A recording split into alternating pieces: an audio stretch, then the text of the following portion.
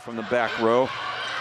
McCullough, great pass to Skydeman. Wilkerson up, match point, put down by the You know, I felt like that we played a lot cleaner match tonight, and probably one of our cleaner matches. And you know, the, the defensive prowess was there.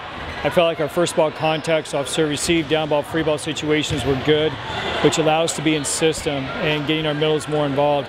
Uh, which also allowed our outsides to have you know seams in the block or holes in the block. Um, so it was, it was really good overall. And knowing coming in that D&E was going to be a, a, solid team, you know, had a couple really nice players that you know we had to make sure we slowed down. Um, I think we did that. I think we did that with our with our serving. We kept them out of system as much as possible. And I felt like we did, you know, a lot of nice things. And credit to D&E, you know, they did a nice job of in that third set. Came out, you know, still fighting, and, and they got their lead. But also, I was very proud of our team with the resolve that they had and um, knowing that we were down four late into that set, that we continued to fight and didn't, you know, didn't panic. And it's just you're starting to see the maturity of our team and the confidence that we're getting. So it, it was good to see that. The key to our win tonight was our mental toughness.